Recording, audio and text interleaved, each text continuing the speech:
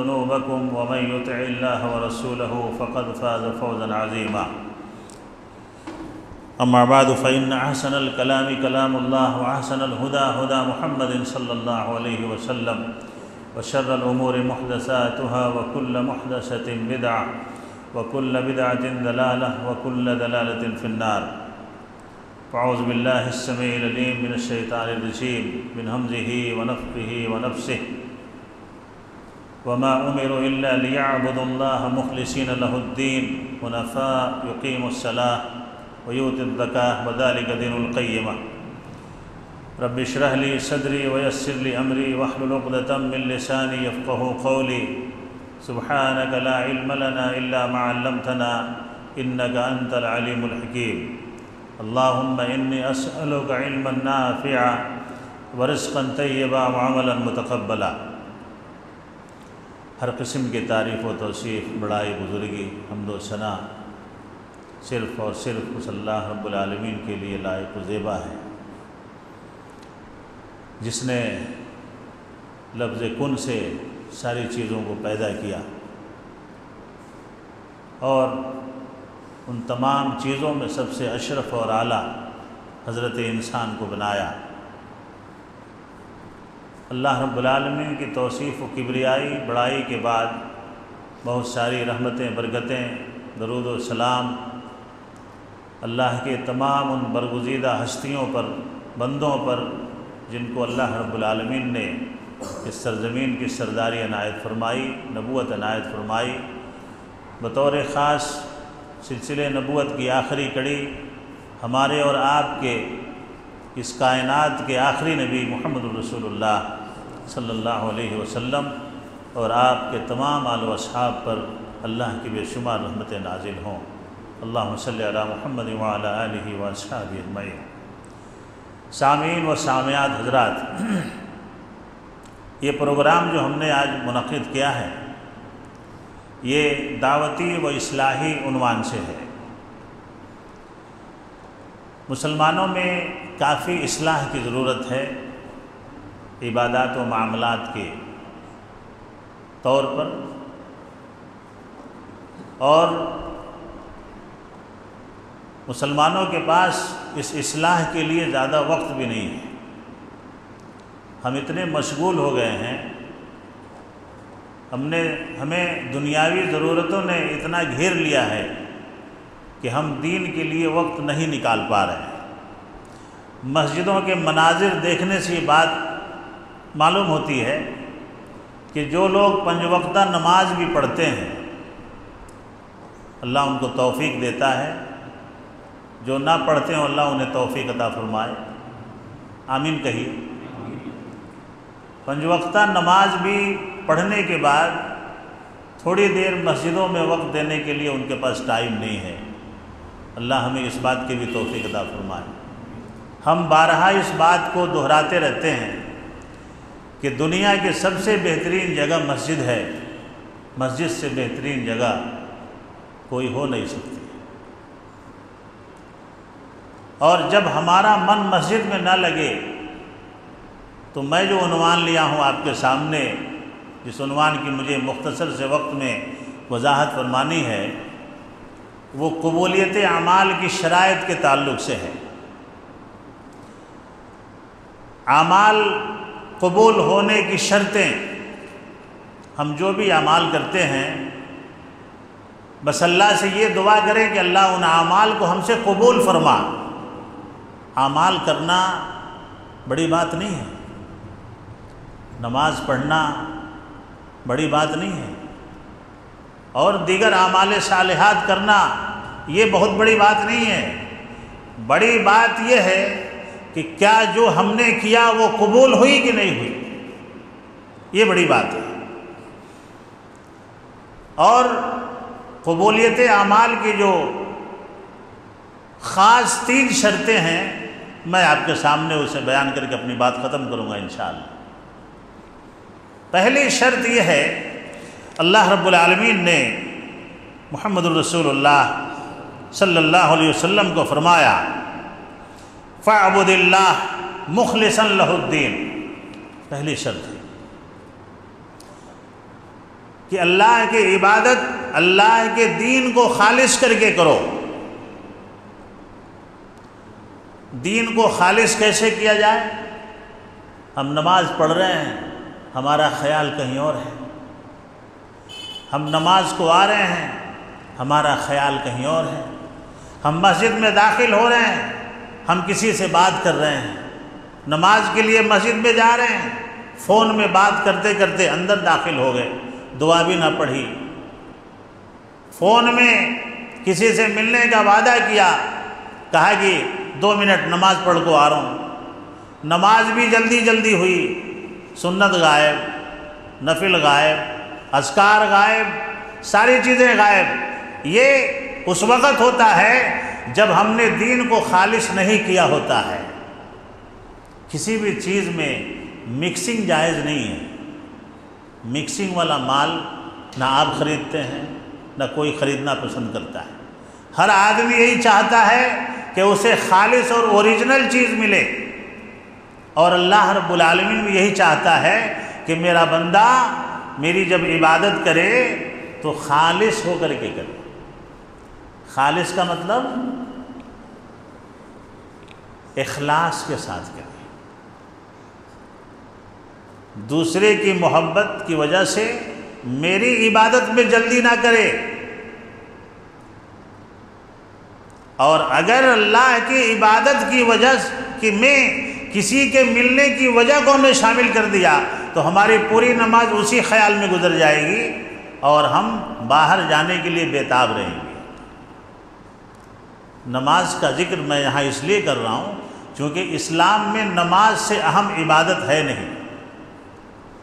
जिसने नमाज़ नहीं पढ़ी, वो अपने आप को किसी तरह से भी मुसलमान ना समझे। किसी तरह से। नमाजों से जिसका रिश्ता नहीं है वो अपने आप को फ़िलहाल मुसलमान न समझे। इसलिए कि जो आदमी मुसलमान है, उसका सबसे पहला काम है कि वह अल्लाह के सामने झुके। अल्लाह के सामने सजदा करे। मोहम्मद रसूलुल्लाह वसल्लम ने दीन को खालिश कैसे किया? अल्लाह ने आपको कैसे कहा कि आप दीन को खालिश करें? फ़ाबुदिल्लाह। और यहाँ तो सूरतुलबैना में अल्लाह ने साफ़ इजा आर्डर दिया है। अल्लाह के नबी ने कहा, वमा उमिरू मुखलिसन लहुद्दीन। और मुझे हुक्म दिया गया है कि मैं अल्लाह के दीन को खालिश करके उसकी इबादत करूँ। मुझे ऑर्डर दिया गया है। बताइए, सरवर कायनात हैं शफ़ीमनबीन हैं, साहिब किताब हैं, साहिब कुरान हैं। आपका मन अल्लाह के अलावा लगता ही नहीं था। अल्लाह के तस्वीर तहलील के बग़ैर आप रहते ही नहीं थे। इस्तफ़ार के बग़ैर आप रहते ही नहीं थे। सजदे में चले जाते तो उठने का मन नहीं करता था। नमाज़ में खड़े हो जाते, पैर में वर्म आ जाते, फूल जाते थे। और ऐसे नबी ने कहा कि मुझे हुक्म दिया गया कि मैं अल्लाह के दीन को खालिश रखूँ। उसमें किसी तरह की मिलावट न करूँ मिक्सिंग न करूँ। कोई नहीं कह सकता है, कोई तस्वुर भी नहीं कर सकता है कि मोहम्मद रसूलुल्लाह सल्लल्लाहु अलैहि वसल्लम दीन में मिक्सिंग करने वाले, मिलावट करने वाले थे।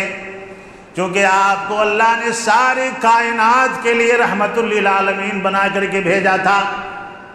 और आप ये कह रहे हैं, वमा उमिरो मुखलिसिन अलहुद्दीन मुझे अल्लाह ने हुक्म दिया, मैं हुक्म दिया गया हूँ कि मैं अल्लाह के दीन को खालिश करके उसके इतबा करूँ, उसके इबादत करूँ। हुनफा,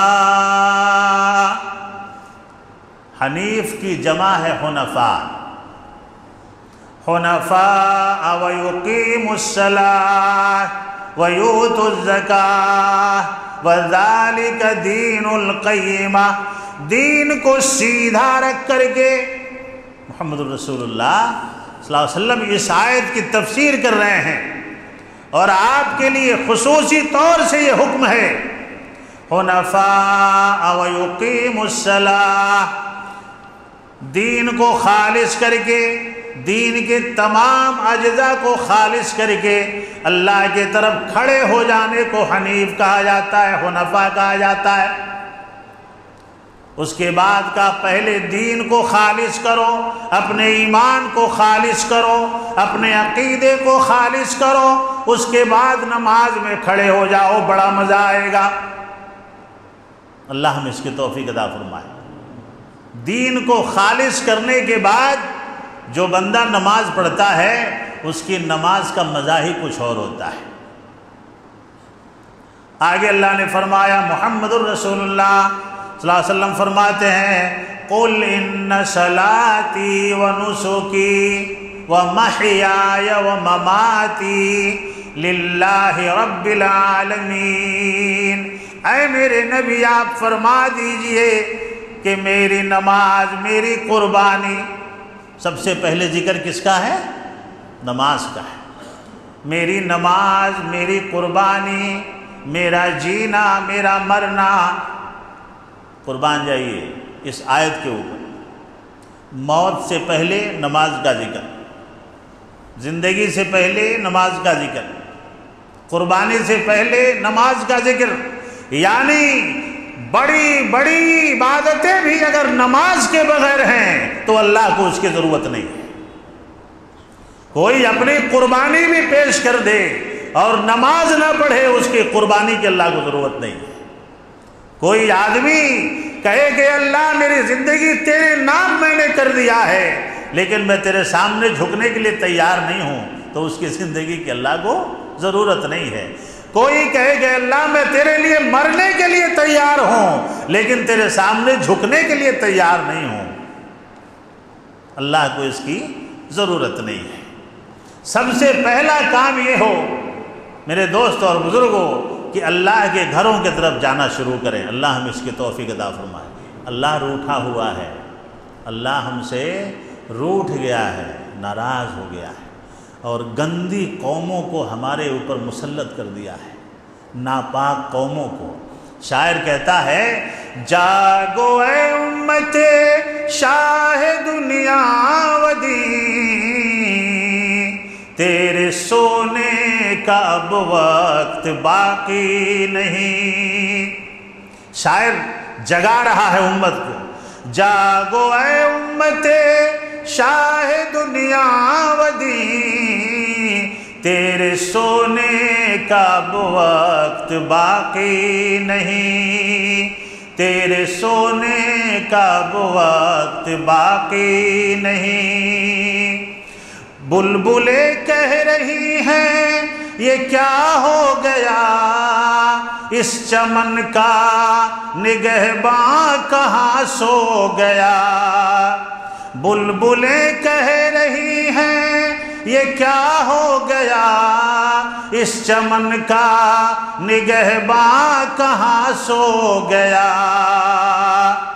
जागो ए उम्मते, शाह दुनियावदी तेरे सोने का वो वक्त बाकी नहीं।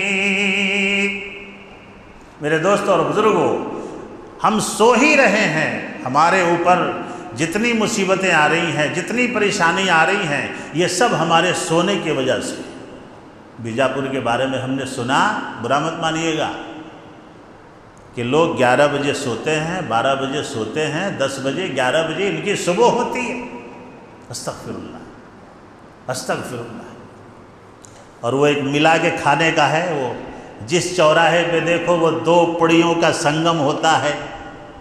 जिस चौराहे पे देखो हैं, वो दो पुड़ियों की शादी होती है, एक को फाड़ के एक में मिलाया जाता है और फिर उसको अच्छी तरह मिलाया जाता है। लगता है कि कोई माजून है।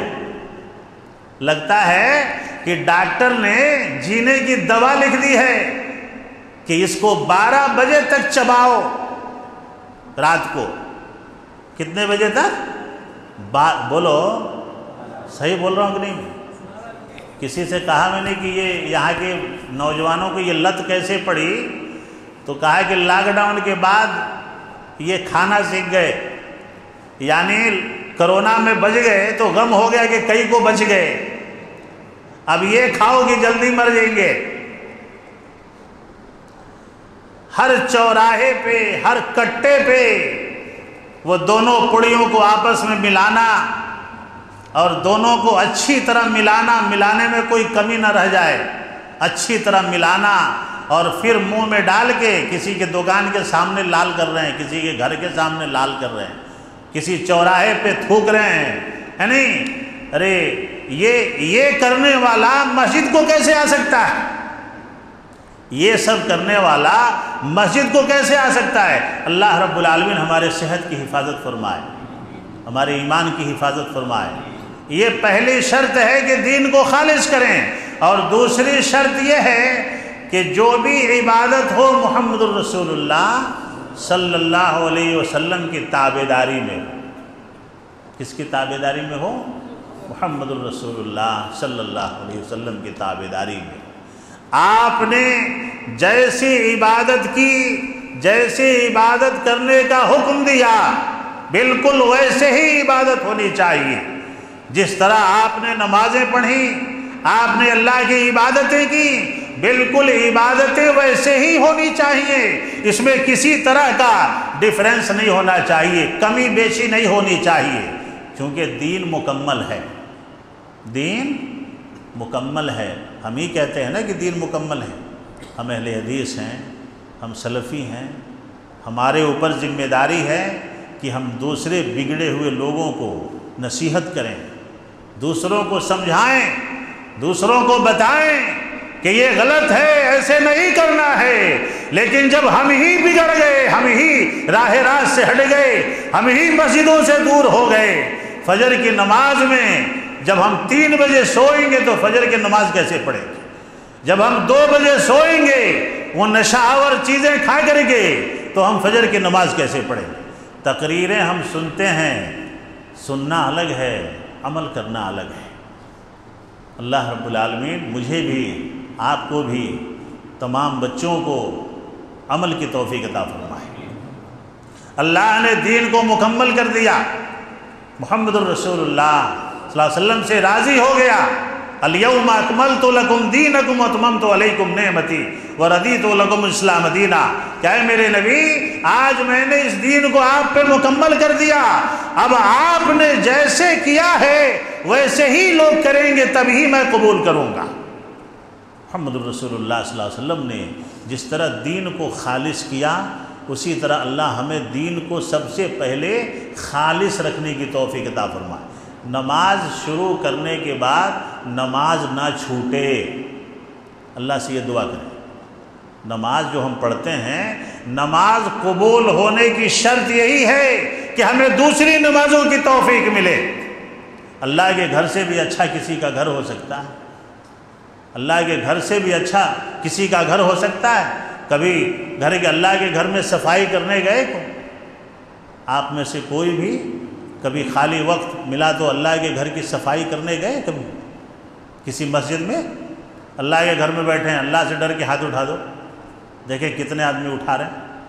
आप अपने घर में घुसते हैं तो आपके घर में धूल पड़ा रहता है। तो घर में जाके क्या बोलते हैं? कितनी गंदगी है जी घर में। झाड़ू लगाई नहीं, साफ़ करे नहीं।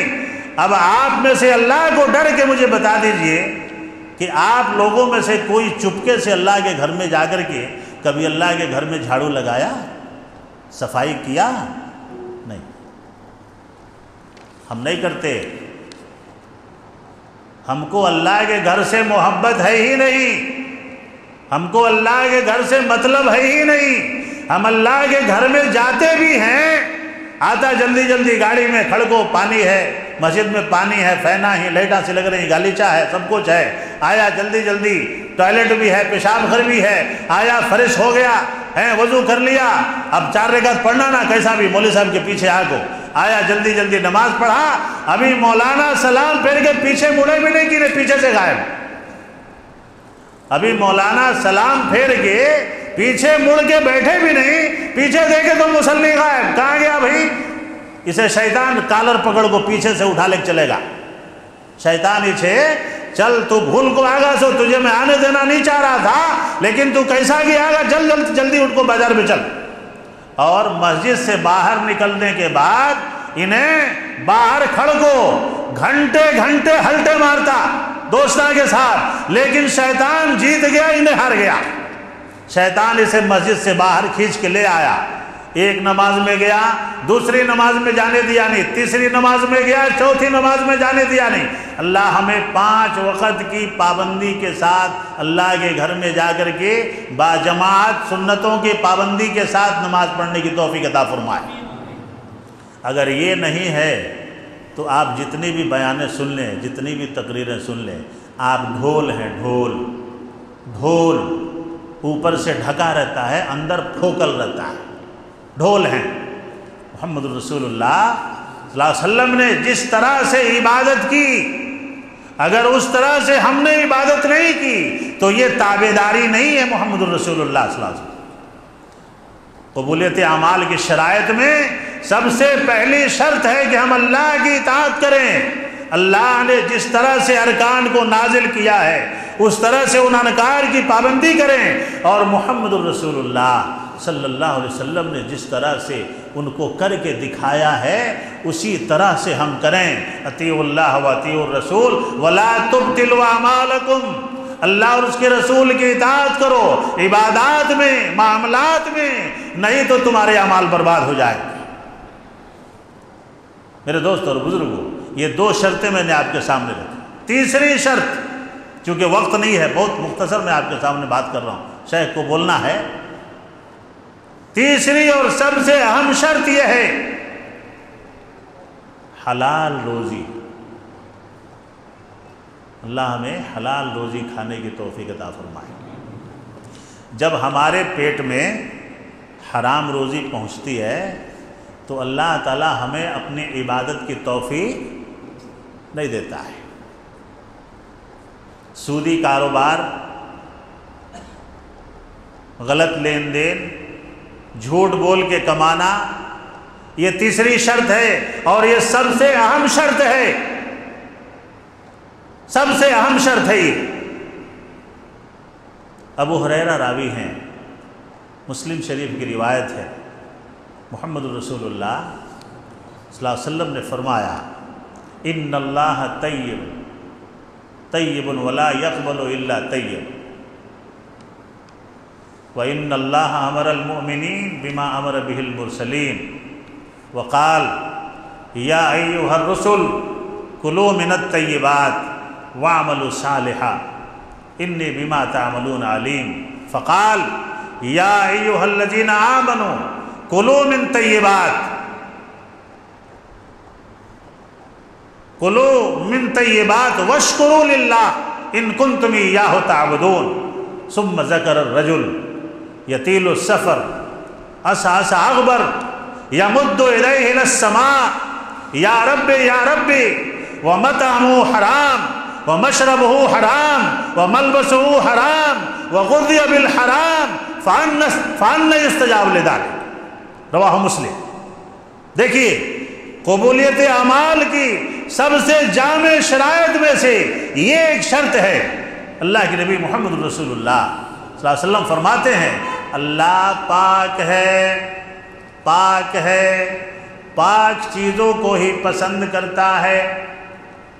इन अल्लाह तय्यबुन वला यकबल तय्यबा। अल्लाह पाक है, पाक चीज़ों को पसंद करता है।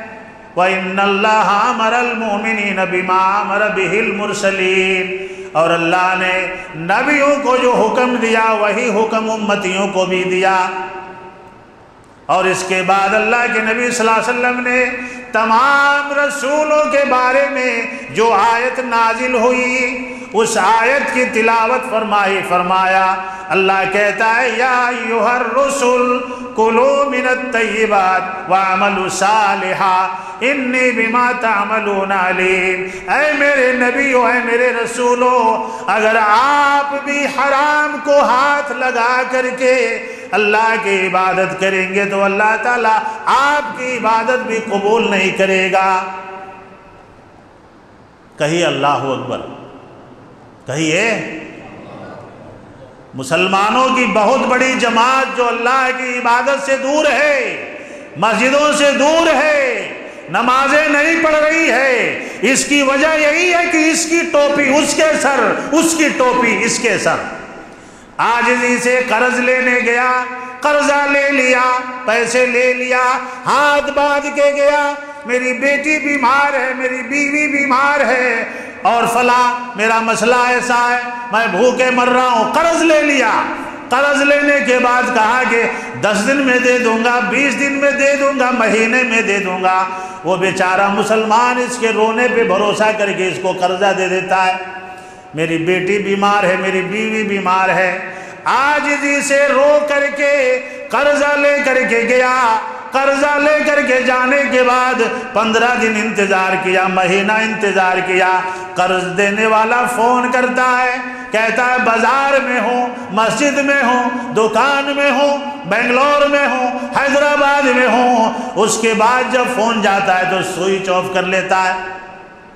स्विच ऑफ़ कर लेता है। उसके बाद जब दरवाजे पे पहुँचता है तो तन के खड़ा होके कहता है, कहाँ तो भी भाग जा रहा हूँ क्या जी मैं? तुम्हारे पैसे ले को।